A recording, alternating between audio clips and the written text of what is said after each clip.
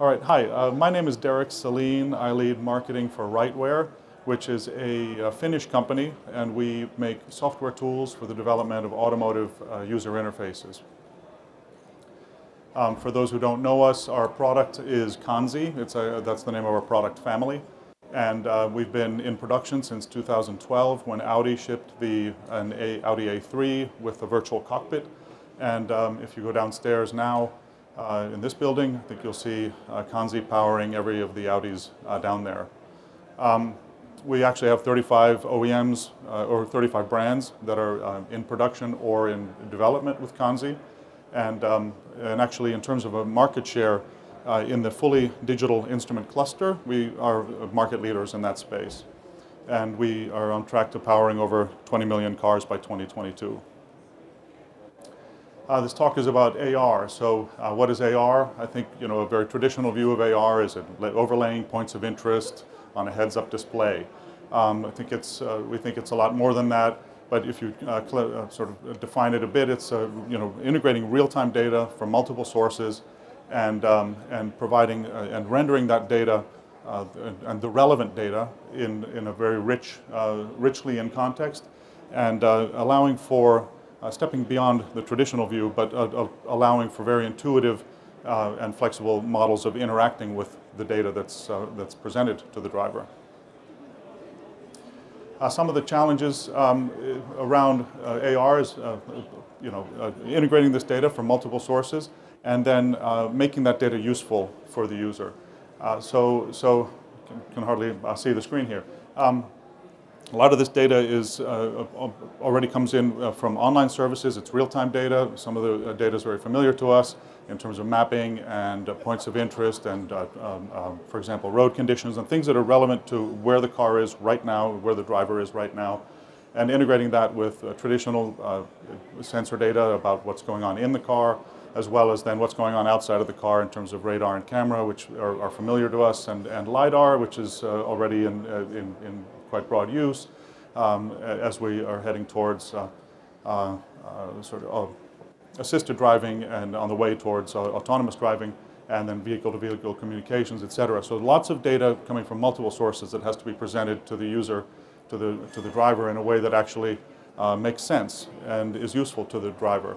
Um, so from the user uh, interface perspective, the uh, OEM, uh, the, the car manufacturer, has to be able to customize and, and uh, sort of have control over the look and feel. But we believe that the, the driver has to have some level of control over the data, what data is presented to them, how it's presented to them, you know, so that, again, so that it makes sense to them. So uh, some uh, personalization is required, which is sort of a key function of a, of a user interface uh, that, um, that would be, uh, have the right level of flexibility. And, um, uh, and also uh, to be intuitive and to be able to, again, interact with the, the, the data and the, um, the, the, display in intuitive and natural ways. Um, so, but I think what, what I'm describing is, is really uh, positions AR as a stepping stone to, to ADAS and, and uh, autonomous driving.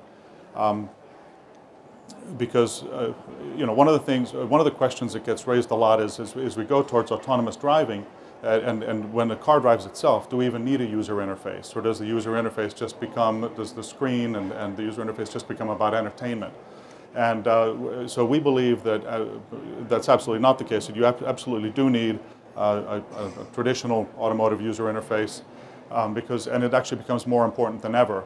Um, you can foresee a long transition, decades long, to full acceptance of, of an autonomous uh, car that, that drives itself. And we believe that by, by, the, the, with, uh, by, by, approaching the user interface correctly, uh, we can accelerate that acceptance.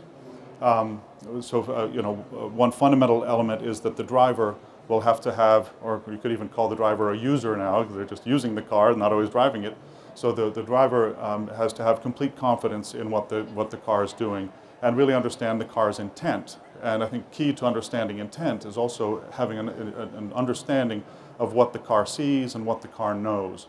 So, so uh, that's where we believe that richly presenting both audio and visual, uh, in audio and visual ways, uh, that this information on which the car uh, is making its decisions uh, will be increasingly important. And um, also, just in general, as, as complexity increases under the hood, more and more data coming in, more complex decisions being made by the car on your behalf, um, there's a risk that we go, of course, more and more complex in terms of the user interface. We've seen that in other devices, whether it's uh, uh, smartphones or digital cameras that people don't even know how to use anymore because they've gotten so complex. Uh, we don't want that to happen in the, in the uh, automobile. So where, where do we play in all this? I mentioned that we've got tools uh, for the user interface development. Our actual UI development tool, uh, which is our core uh, product, is, is really about a rich uh, presentation, beautiful uh, graphics, and, uh, and, and, and high performance 3D as well as 2D, of course, presentation and rendering. Our background is from uh, 20 years ago. A gaming company spun off a, a, benchmarking, graphics benchmarking company. That company spun us off. So we have a long heritage in really sort of high performance uh, graphics and uh, especially in the 3D realm. And, um, and, and again, we're, we're, driven by elegant, beautiful uh, user interface and, and providing those kind of tools to our customers, which are the OEMs and the tier ones and, and their partners. Our new product is called Kanzi Connect, and this is a uh, a platform for connectivity uh, within, within, within and without the car, I should say. Um, ultimately, this is, there's, there's multiple levels of connectivity. We have uh, the screens that are on board, the cluster, the IVI, the heads-up display. We've got the devices that people bring into the car, the phones, the tablets, the smartwatches, the whatever they're going to be bringing into the car, as well as then cloud services. So, and that's where this off-board data comes in, all the online services that are relevant to, to, to um, AR as well as then autonomous driving.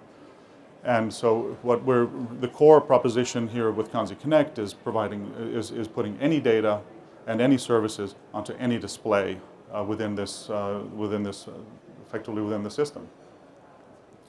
Um, so uh, just to give some examples, uh, going back to the rich visual, visualization, uh, here is a, a, point cloud based on LiDAR data that, uh, that, that really shows how with, with uh, the, um, rich 3D uh, graphics and, and high performance capability, what you could do. So you can imagine driving and, and seeing this instead of a point of, point of interest overlay on a HUD, you could see this and really understand what it is that your, your car sees. So I can say, see what your car sees.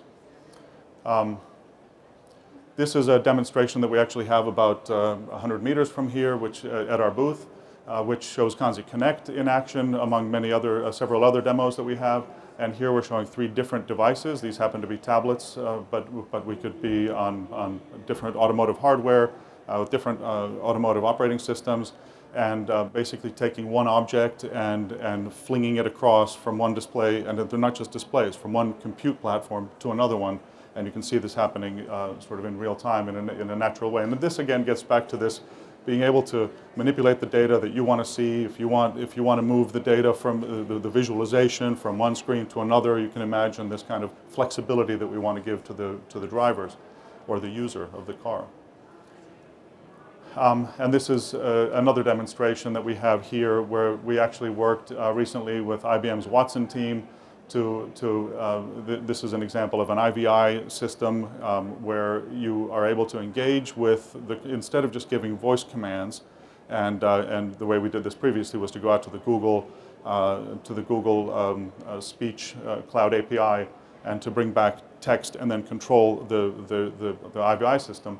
Now we actually are able to extend the functionality of this IVI by bringing in a smartphone that does that, but then also goes to Watson and then allows for a much more natural dialogue kind of interaction with the car. So again, we're just trying to drive ways of, of, of bringing intuitive interaction with the car and, uh, and, and also uh, natural, uh, natural and intuitive interaction with the, with the system. So uh, basically to summarize um, the, these points that I brought up in the beginning, uh, Kanzi Connect is a, is a solution for uh, integrating real-time data coming in from multiple sources um, and, and then rendering it onto uh, any display. Uh, relevant data rendered richly in context. That's where we believe that high performance, beautiful 3D graphics will be important, uh, maybe even more than ever.